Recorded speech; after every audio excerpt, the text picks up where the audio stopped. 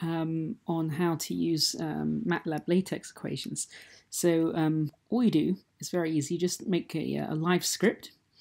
Um, so you can click New, uh, Live Script. I have one open over here. So let's say you want to do some calculations. So let's say you've got um, time domain going from 0 steps 0.1 to 10 seconds, let's say. Uh, and you have your comments here, time in seconds. Uh, and then you have a function of t. Uh, let's call that um, sine uh, 2 times pi uh, dot times t. Uh, and then uh, well, you will plot ty, sorry, ty um, line width 1. Um, and it's always a good idea. We'll do this beginning, clear CLC, um, CLA, and CLF. That clears the figure and the axis. Um, and uh, so let's just run some, some simple code. Um, I'll do grid on.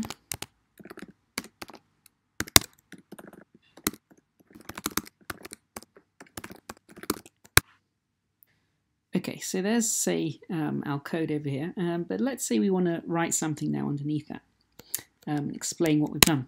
So all we do, we don't do enter, all we do, we go to the last line, and on a Mac, you just do Alt, or it's the Option key, and enter, just once.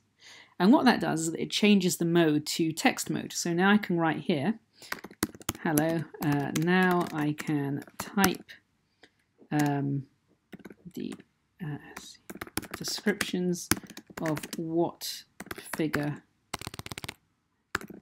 oops, came above.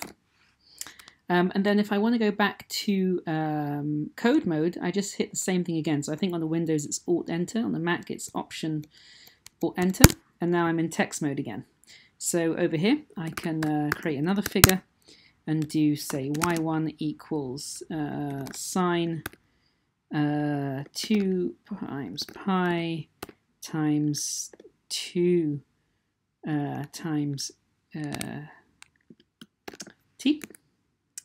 Um, uh, and I can plot that again using the same as before. So we've got t, uh, y1, and then that should plot a figure underneath with double the frequency as before and we'll have the formatting the same as well as before. Okay, now uh, if we go into uh, this mode over here, hide mode, we can then see all the figures and all the text and it just removes all the code like that. So that gives a preview of what the printed version is going to look like. Now the question is what happens when we, when we want to enter things like equations. So let's say you want to actually type a description of the first uh, equation over here, sine 2 pi t. So all we do is that we can uh, go to that. And if we do um, Shift Command L, we go into latex mode. So over here we can say, um, we can use all latex notation to make it look really nice. So we can say here, uh, the function, so we can say y equals, or we can say um, ft, function dependent on t, equals um, sine, uh, now you don't write sine like this. For trig functions, what you do well, for any for any function in LaTeX, you do a um, backslash or it's forward slash. I can't remember which one it is, but there's two types like that, and the one that we use here is this one, um, and we do sine like that. And you notice the difference uh, between if we don't use the backslash, you get like an italic kind of thing, uh, and that means um, that we've used sine over here. Uh, and then what we can do, we can do sine open bracket, and it doesn't matter how many spaces, it just ignores all the spaces because it's like a programming language kind of thing. Um, these are just white spaces. So then you do sine um, 2 pi t, 2.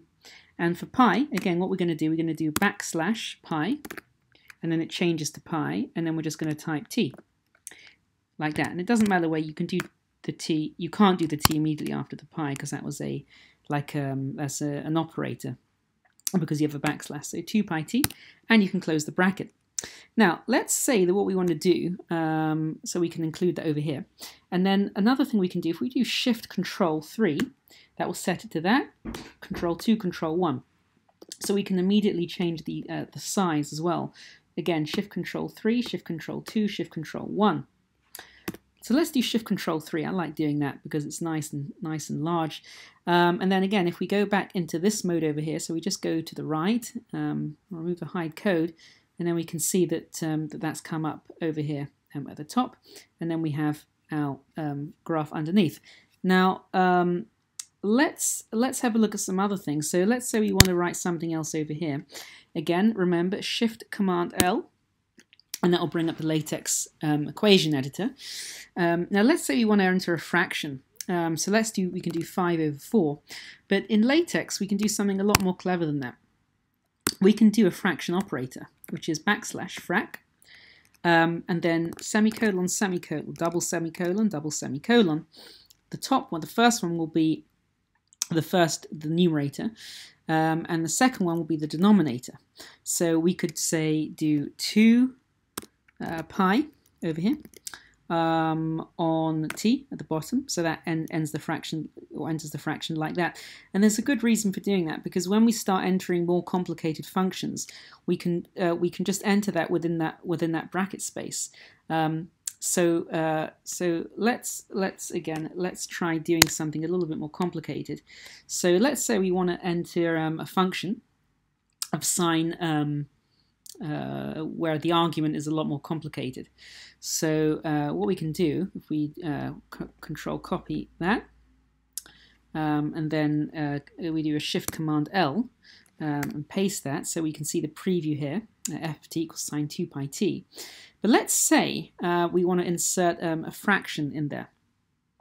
Okay, so um, what we can do, let's just save that over here like that, and let's let's just enter a fraction. So we'll do frac like that, and let's do um, 4 uh, pi t, um, and uh, let's square everything there. Uh, 4 pi t squared, okay, like that, on um, e uh, to the power of, and again, I'm going to enclose the power of with these uh, curly braces, so we can say um, 5 space backspace cosine, uh, another, and then I'm going to do um, 7 pi t, like that over here. So now we can see that we've now building up a slightly more complicated uh, fraction. Um, and what we can do is that the, the, magic of LaTeX, we can copy and paste that, okay? Um, and then we can put that inside the argument over here, okay? Just like this. And there we have that fraction inside the sine argument. The problem that we have now is that can you see these two curly braces, two curly brackets over here? They're they're a little bit small. So again, with LaTeX, we can be um, we can use um, a function, an operator, we can do uh, backslash left. And then over here on the last one, we can do uh, backslash right, R-I-G-H-T. And LaTeX has automatically formatted um, the argument over here. So everything that encloses those two brackets are beautifully formatted now. Um, so you, you, can use this in many, many scenarios, um, or in any scenario, um, and the bracket will automatically format to the, uh, whatever is inside those things. And you can also use square brackets as well, just like this. And if we hit OK, then we can start entering things like this as well. Um, so that's just some of the things that you can do um, let's do a um, an integral. Um, so let's say uh, let's say um, f of t equals um, e to the power um, of minus st. Um, you know where I'm going with this. st uh, dt.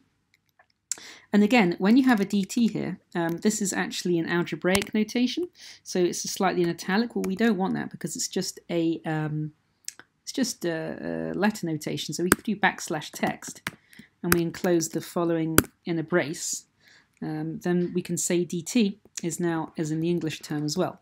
Um, now, if you want to do some commas or spaces, you can't do that in LaTeX because look, it just looks like white space. Well, actually, there's a way around that. So if you do backslash comma like that, it reads that as spaces. Okay. Um, so you can see as I add those things, it gets further and further away. So you can you can format using this, which is quite quite nice. Um, anyway, let's add um, an integral here. So let's do um, integral like that. Um, underscore um, underscore brace uh, to the power of brace.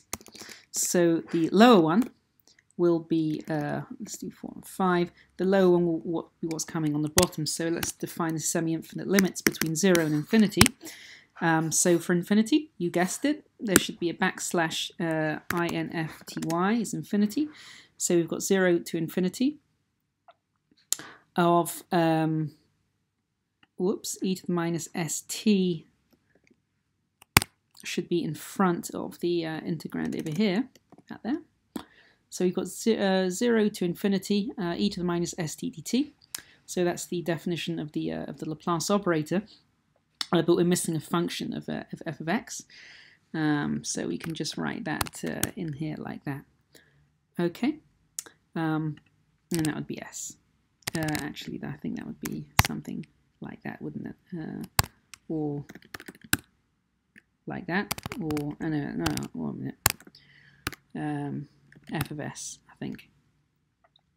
So, um, so that's basically what we can do. And let's click enter, and we can, um, and then we can write whatever we want over here uh, as an explanation, uh, explaining over here. Uh, but usually, what you would do is that you would just write underneath um, whatever you want to do over here. So that's how you can end up with very beautiful and very, uh, very nice, clean um, explanations. So um, you know, you might have a paragraph over here um, uh, paragraph of um, explanation. Uh, I can't spell because I've been up all night. paragraph, paragraph and explanation of above function uh, description. Da, da, da, um, and then and then you can just carry on um, and do that. Uh, another important thing to note as well is that you want to break up in very, very long pieces of code. You will want to break your code up. So let's say I want to run this code separately to what comes before. So if you do on a Mac, it's going to be Option Command Enter. Um, I think that will be Alt uh, Command Enter, something like that on a Windows. Then you break up your code into different sections and you can run different parts independently. So you just do um, Shift Enter, and I just run this. And then if I want to run this piece of code, I do shift enter and then it will run this and generate that graph. So for instance, if I want to change um, this uh, to say 0, point, uh, 0.1, but I do not want to adjust this over here. Now let's, let's just change both of them. So I'm changing that one to 100 uh, scale and I'm changing this to a much lower frequency. If I just run this section, watch, you see it doesn't change that at all, it only changes this one. If I run this code over here, it's going to change this one. See? So that's really, really useful. So um, the, the main points to take away are Alt-Enter to go between uh, text mode and uh, code mode. Alt-Enter, Alt-Enter, Alt-Enter alternates, and um, Command, uh, Option Command Enter to break the code, um, just like that. So I hope that was helpful.